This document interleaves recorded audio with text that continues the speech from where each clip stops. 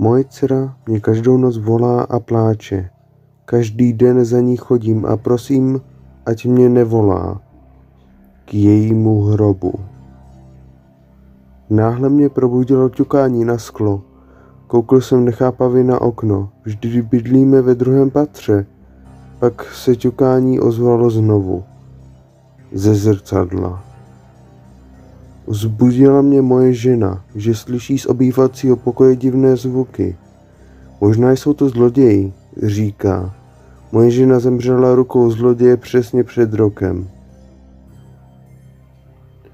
Strašidel se netřeba bát, klidně je zkuste najít. Mají rádi, když se hledají.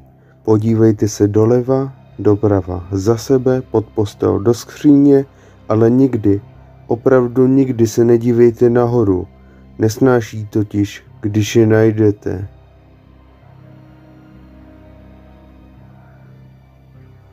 Je právě 6 hodin a maminka tě volá k večeři. Pomalu se zvedneš a jdeš do kuchyně, pak slyšíte ze skříně šepot. Nechoď tam, broučku, já jsem tu a taky jsem to slyšela. Poslední věc před smrtí, kterou jsem viděl, byl čas na digitálním budíku, ukazoval 0,42.